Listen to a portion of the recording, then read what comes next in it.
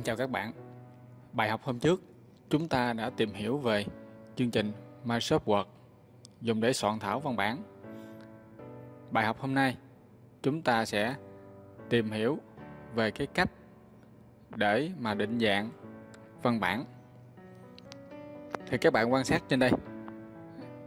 Đây là một cái văn bản đã được chỉnh sửa và được định dạng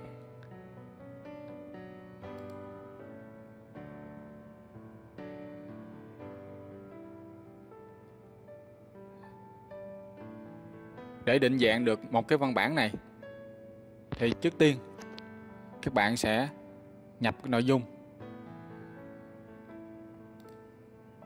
Thì các bạn thực hiện thao tác là nhập nội dung cái đoạn văn bản này cho tôi. Thì lưu ý, khi mà nhập nội dung, các bạn sẽ đánh máy văn bản bình thường, không chỉnh sửa gì hết. Ha, các bạn nhập từng dòng văn bản, sau khi có dấu chấm cuối câu, các bạn enter xuống dòng. Rồi các bạn sẽ nhập cái nội dung văn bản vào cho tôi. À, các bạn có thể là bấm đứng à, cái video này lại để à, lưu lại cái văn bản này. Và sau đó các bạn nhập văn bản vào máy tính cho tôi. Các bạn lưu ý sau mỗi dấu phẩy hoặc là dấu chấm các bạn phải có một cái khoảng trắng.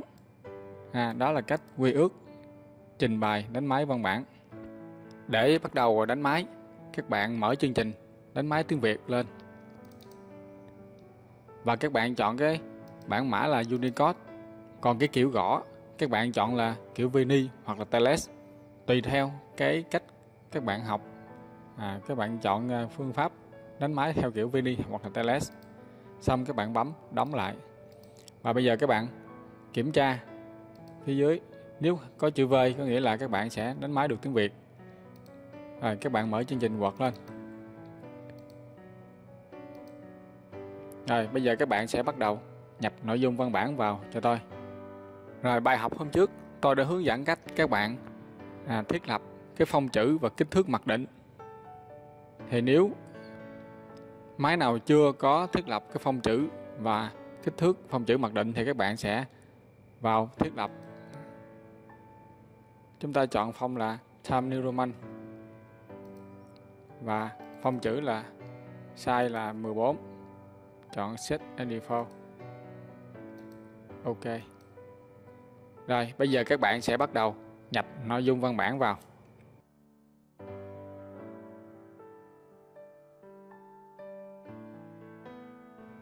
Sau khi đã hoàn thành nhập được nội dung văn bản,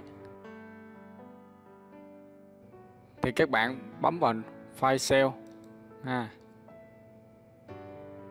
hoặc là bấm à, Ctrl S các bạn tìm đến cái thư mục của mình à, chứa bài tập của mình và các bạn đặt tên cho cái bài tập này. Bấm save lại. Bây giờ chúng ta sẽ tiến hành định dạng văn bản. Ở đây trong cái phần này chúng ta chúng ta sẽ tìm hiểu về cái hộp hội thoại phong à đây là khu vực chúng ta sẽ tìm hiểu. Các bạn quan sát ở đây chính là cái phông chữ của chúng ta lựa chọn dùng để đánh máy văn bản.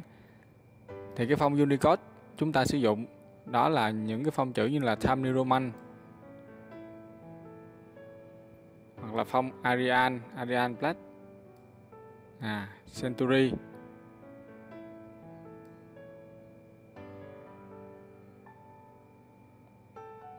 Hoặc là Tahoma. Còn đây là cái kích thước văn bản kích thước size phông chữ. Để tăng kích thước à, của cái phông chữ thì chúng ta chọn cái phông chữ và chúng ta click chọn kích thước. Chúng ta mong muốn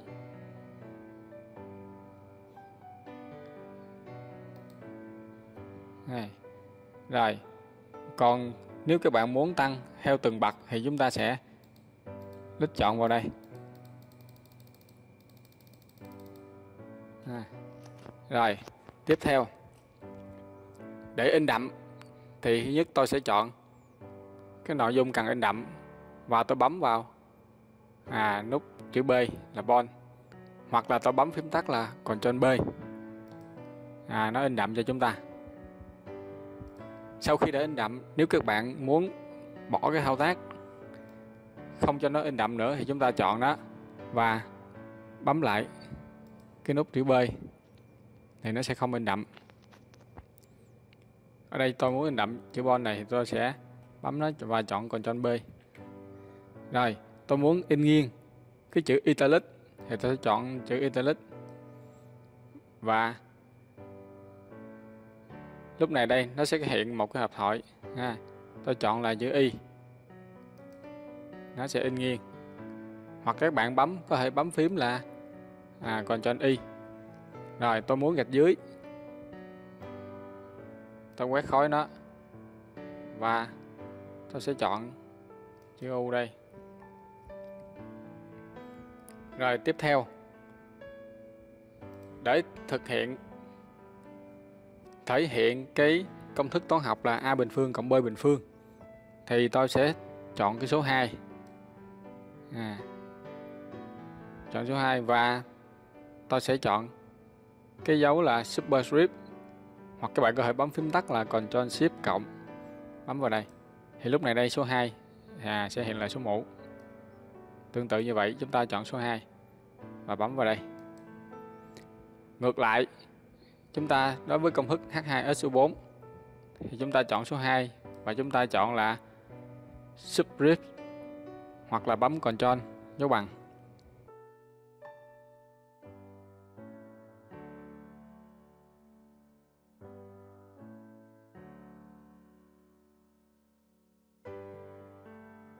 Tiếp theo, đối với chữ bóng, shadow, ha. Thì các bạn thực hiện như sau, chúng ta quét chữ đó và bấm vào đây. Text effect, chúng ta tìm đến cái phần là shadow và các chọn, và các bạn chọn cái kiểu mà đổ bóng cho nó. Ha. các bạn có thể chọn bất kỳ kiểu nào, ha. Đây, chữ chúng ta đã có độ bóng. Và cái chữ viền, thì chúng ta sẽ chọn chữ viền. Test. Chúng ta chọn là outline. À. chúng ta sẽ chọn. Chúng ta sẽ chọn cái kiểu viền của nó.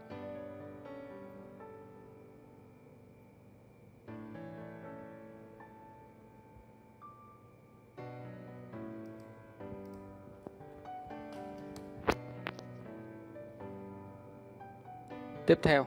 À, chúng ta sẽ định dạng cái chữ. Lớp phong là in đậm. Các bạn có thể nhấn là Ctrl B. Ở đây chúng ta sẽ chọn là in nghiêng. In đậm. Ở đây là vừa in nghiêng và vừa in đậm.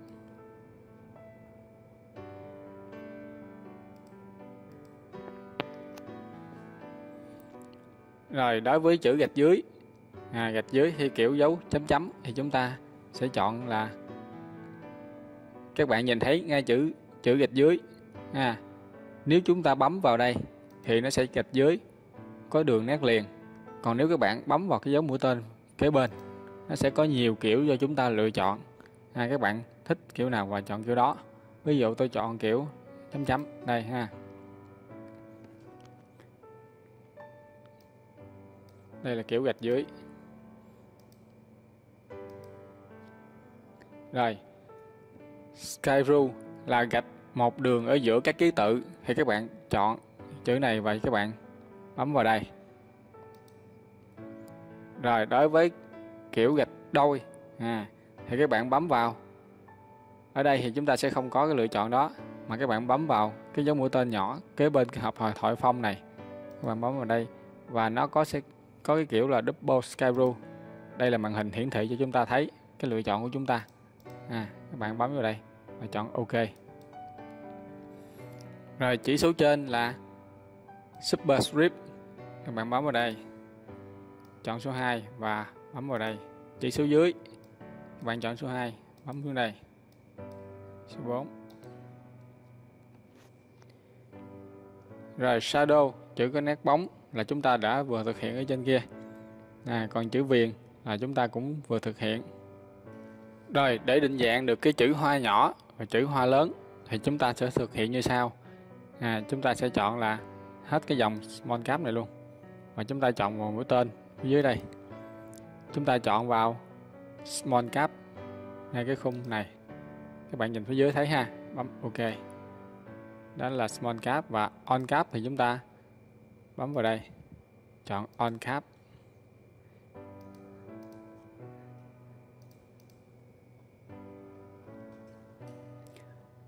Rồi ngoài ra trên cái hộp hội thoại phong này còn nhiều lựa chọn cho chúng ta. Ví dụ các bạn bấm vào đây. Cái là đây là cái hiệu ứng chữ.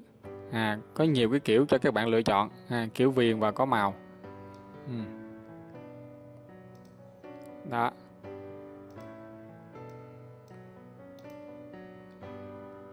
có các kiểu đổ bóng, ha, và kiểu kiểu phản chiếu ừ.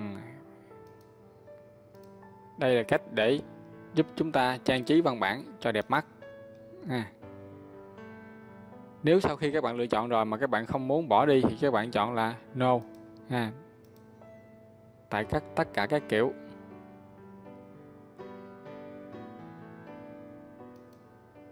ở đây các bạn nhìn thấy có một cái cục tẩy nó có hiện cái chữ là Leo Martin có nghĩa là sẽ xóa bỏ những cái định dạng của các bạn đã chỉnh sửa. À các bạn bấm vào đây thử ha. Đó đây là khi khi đó nó sẽ trở về định dạng ban đầu.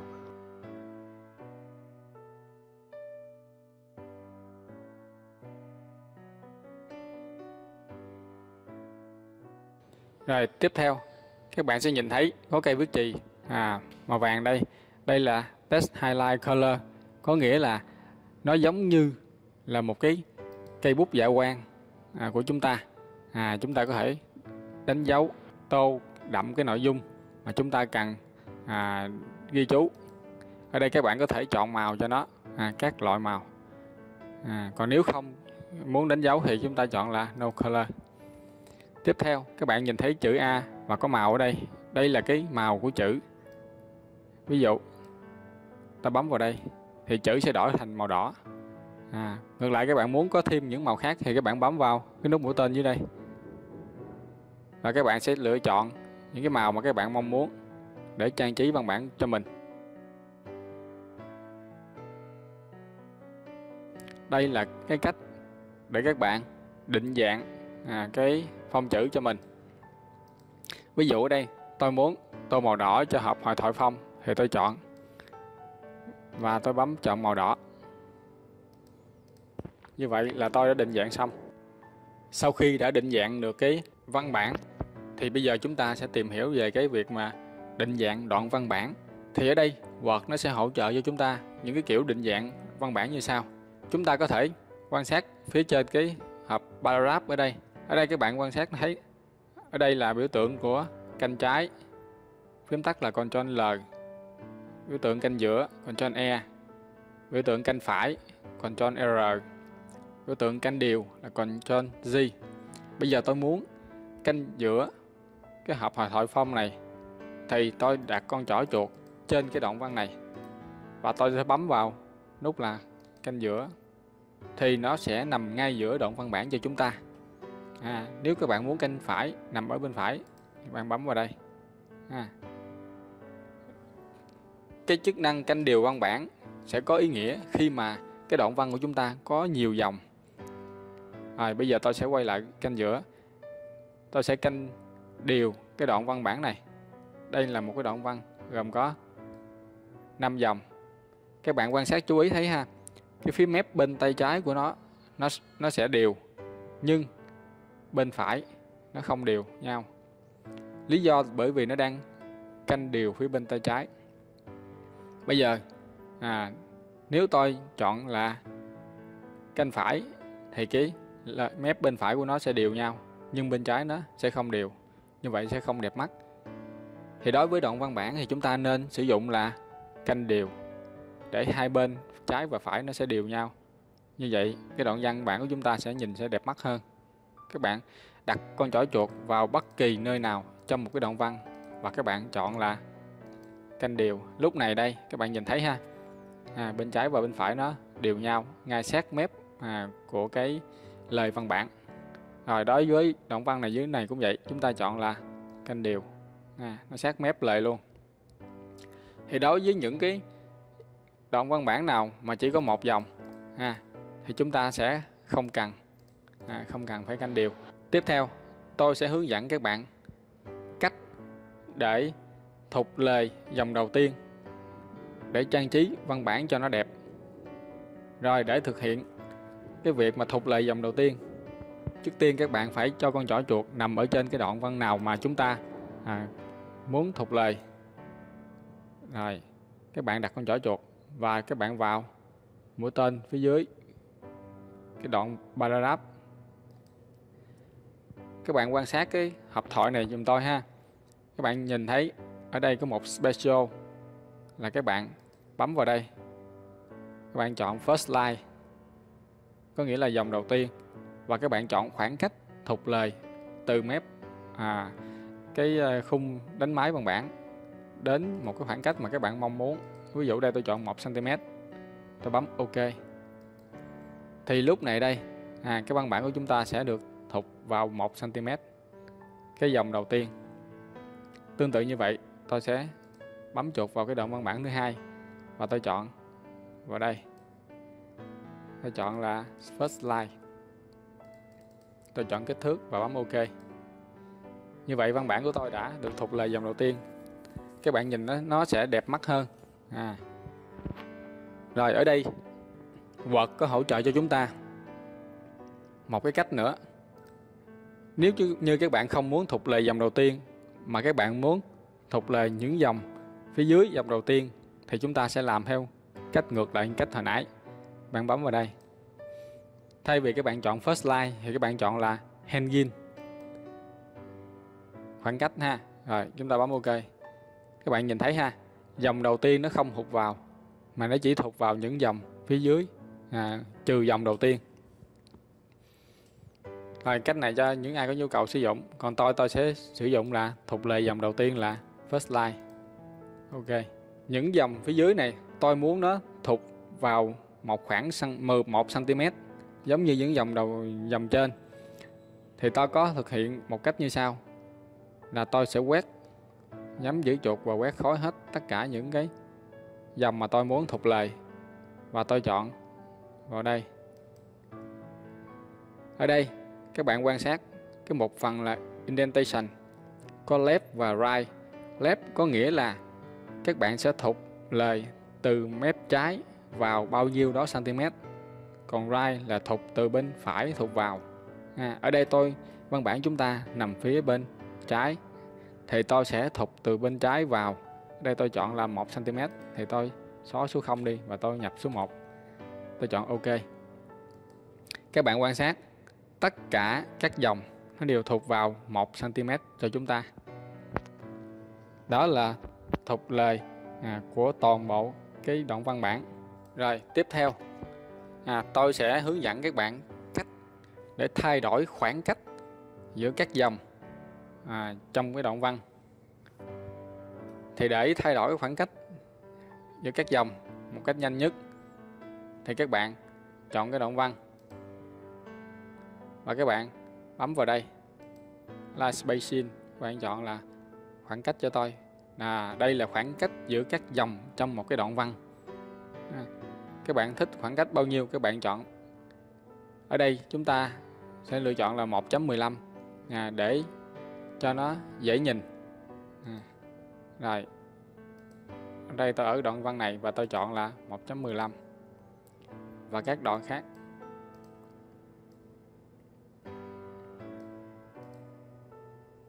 À, tôi chọn 1.15 các bạn nhìn thấy ha? Lúc này đây văn bản của chúng ta đã có một cái khoảng cách nhất định. Nếu tôi muốn tạo một cái khoảng trắng giữa cái tiêu đề và cái nội dung thì tôi bấm con chuột nhấp nháy ở phía cuối cái tiêu đề và tôi nhấn enter. Như vậy tôi đã tạo một cái khoảng trắng. À, giúp cho văn bản chúng ta sẽ đẹp mắt hơn. Đó là cách để thay đổi khoảng cách giữa các dòng trong đoạn văn.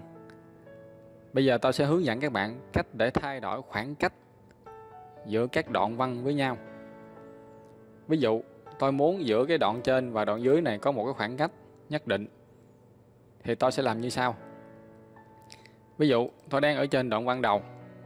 Tôi muốn cách một đoạn văn phía dưới là một đoạn, thì tôi sẽ bấm vào đây. Các bạn quan sát ngay chỗ cái phần spacing có before và after. Ở đây, chúng ta cần xác định before và after nếu chúng ta đang ở đoạn đầu thì chúng ta cần thay đổi khoảng cách với đoạn ở dưới. Thì lúc đó các bạn sẽ chọn vào after. Ok. À, các bạn thấy khoảng cách thay đổi. Rồi nếu chúng ta đang ở dưới cái đoạn văn dưới này chúng ta muốn thay đổi khoảng cách với cái đoạn văn ở trên thì chúng ta phải chọn là before. Như vậy before và after. Nó tùy thuộc vào cái hoàn cảnh của chúng ta.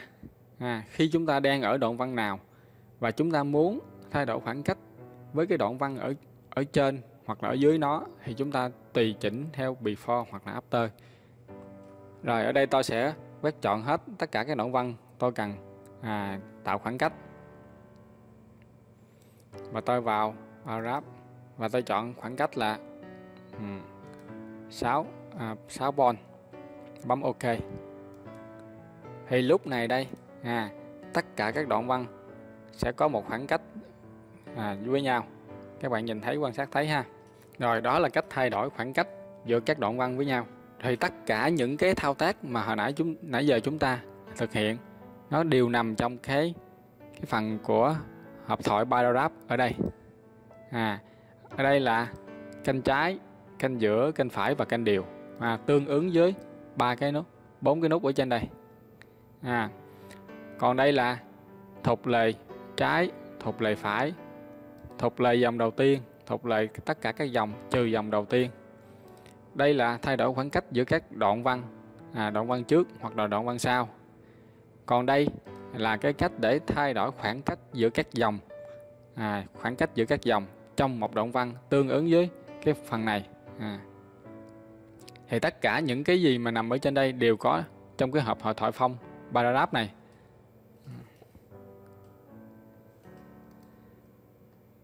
Rồi tiếp theo các bạn quan sát ha. Thấy kế bên đây có một cái thùng sơn và cái màu màu trắng. Đây là cái màu nền của văn bản. Ví dụ tôi muốn tô màu nền cho đoạn văn này. Tôi chọn nó và tôi vào đây tôi lựa chọn một cái màu nào mà tôi mong muốn ha, tô màu nền cho nó. Đó là các bạn đã thực hiện tô màu nền cho một cái đoạn văn. Rồi ví dụ tôi sẽ tạo thêm một cái màu nền nữa.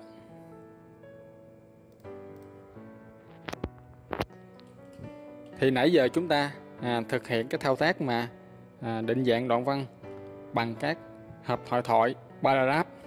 Bây giờ tôi sẽ hướng dẫn các bạn cách định dạng à, cái đoạn văn bằng cách sử dụng à, cây thước các bạn quan sát ở trên cây thước. Các bạn nhìn thấy đây. À đây là cái nút này. Các bạn đưa chuột vào và nó sẽ hiện lên là first line indent. Nó có nghĩa là thục vào dòng đầu tiên. Ha các bạn ngay đoạn văn này hồi nãy chúng ta đã thực hiện thục là dòng đầu tiên. Thì khi đó các bạn nhìn quan sát trên cây thước nó có cái cái cái nút này nó đã thục lời vô. Thì các bạn bấm thử nha. À, bấm thử vào cái nút này nhắm giữ chuột. Và các bạn kéo đi. Các bạn thấy ha, nó có sự thay đổi. Thì đây có nghĩa là cái nút để dùng để chúng ta thục lời dòng đầu tiên.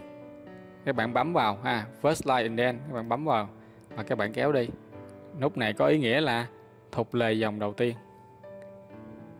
Rồi, ví dụ như cái đoạn dưới, tôi kéo ra. Các bạn nhìn xếp phía dưới đây. À các bạn để chuột vào các bạn thấy là hanging indent đây là thuộc lời các dòng, trừ dòng đầu tiên. Các bạn bấm chuột vào và kéo ra. Các bạn quan sát, chú ý, cái nút phía trên nó vẫn nằm im. Nó chỉ di chuyển hai cái cụm nút phía dưới thôi. À các bạn nhìn thấy nè. Đây là các dòng đầu phía, dòng phía dưới nó sẽ thụt vào. À. rồi. Tôi sẽ thực hiện thao tác là thục lại dòng đầu tiên rồi các bạn quan sát. Đối với những cái dòng văn bản dưới đây các bạn nhìn thấy cái nút này. À, nó thục vào hết. Tôi sẽ bấm thử ha. Các bạn nhìn cái nút phía dưới cùng. Nó có nghĩa là left indent có nghĩa là thụt lề trái. Các bạn nắm và kéo nó đi kéo hết ba cái nút luôn. Các bạn nhìn thấy ha nó đã thụt lời ha nó chạy ra ngoài. Bây giờ các bạn muốn thụt lời thì các bạn nắm cái phía dưới giữ chuột và kéo vào. Như vậy là các bạn đã thao tác được cái việc là thụt lời à, trái. Thì tương tự như vậy phía mép phải văn bản chúng ta có cái nút là right indent. À tôi sẽ hướng dẫn thực hành. Tôi sẽ thực hiện trên cái đoạn văn này như sau. Tôi cho con trỏ chuột lên cái đoạn văn này và tôi sẽ bấm. Nhắm giữ chuột và kéo vào. Các bạn sẽ nhìn thấy có sự thay đổi nha. Thì lúc này đây à, văn bản của chúng ta sẽ được hiển thị đến đây là hết. À, đây là cái cách để thuộc lời phải của cho đoạn văn bản. À, các bạn nắm kéo và ra ngoài. Thì cái lời phải của nó sẽ nằm ở sát mép ngoài. Đây là cái cách giúp chúng ta thục lời dòng đầu tiên à, thục lời trái hoặc là thục lời phải một cách nhanh chóng mà không sử dụng cái chức năng ở trong cái hộp thoại paragraph này à. thì các bạn quan sát thấy ha nếu chúng ta thực hiện thuần thục những cái thao tác trên cây thước thì sẽ giúp chúng ta tiết kiệm được rất nhiều thời gian để định dạng được văn bản thì bài học của chúng ta hôm nay đến đây là kết thúc. Xin cảm ơn các bạn đã chú ý theo dõi. Xin chào và hẹn gặp lại.